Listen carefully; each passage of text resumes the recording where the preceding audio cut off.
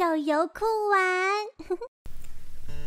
嘿，各位观众，大家好，我是你们的好朋友金猴。今天咱们来继续沼泽激战，这里是游戏的第十五关呢，那么也是第二章。那十五关的话，可以看到啊，咱们的这个装备都被收了，那这也是这一关的一个新特性。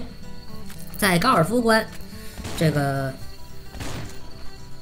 在这个 UFO 关呢，咱们这个东西都已经被这个飞碟给它收走了，所以说对于这一关来说，它后期出现的这个飞碟，怎么把这个飞碟给它打下来以后所获得的这个装备，咱们是可以无限使用的，所以说不用担心咱们浪费掉某些道具之类的。那么这一关还算挺良心的，但如果是分配的不是太给力的话，那很可能就导致咱们这一关这个损失会比较大呀，有可能连关都过不了。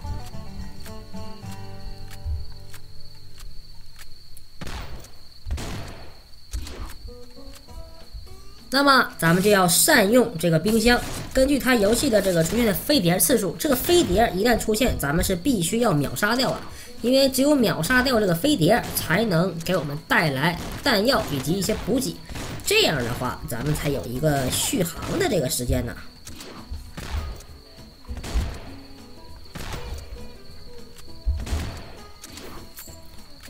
那么这个大松鼠扛着电锯又冲了过来呀！这个家伙其实血量还算可以吧，并不是太强啊。那么也是好久没有看到这个鳄鱼兄弟了，哎，如果能再一睹这个鳄鱼兄弟的风采，那么会非常给力啊！因为鳄鱼它非常不经打呀。那么如果是非常经打的话，咱们很可能这个防御不是很理想。善用冰箱才是这个游戏的核心之一。冰箱往往是后期特别强大的道具之一啊。那冰箱是必须配合其他道具进行一个无进攻式的这个攻击啊，属于是防御式进攻。那么冰箱我觉得升满是必要的。然后其他道具像喷火器什么的，是根据你的这个一些设定啊，然后选择性的进行升满的。然后老家的话，我也强烈建议进行升满。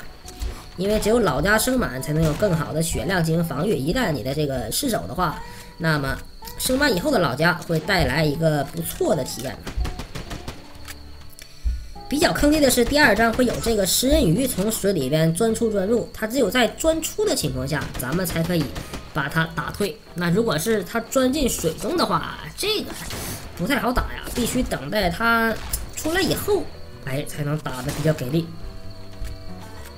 不然的话是非常棘手的一个东西，就算你用冰箱把它给冻住，那么你也是不能完全打到它的，因为冰箱冻住它以后，哎，甚至它可能冻的瞬间，它就进入到了这个底部了，那么这个就是一个致命性的错误了，冰箱等于白用了。